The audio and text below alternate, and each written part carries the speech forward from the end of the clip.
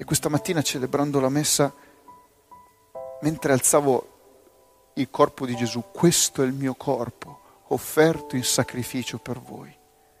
La forma più grande dell'amore è questo sacrificio del corpo. E allora ho pensato questo, che l'unità di misura del vivere è il respiro. Questa è l'unità del misura del vivere.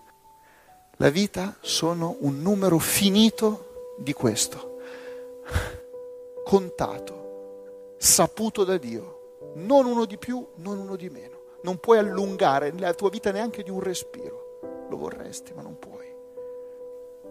Allora, quando c'è l'ansia, tu la soffri e ci sono questi respiri che sono dolorosi. Ecco, la vita cambia quando tu offri a Dio la sofferenza di questi respiri dolorosi.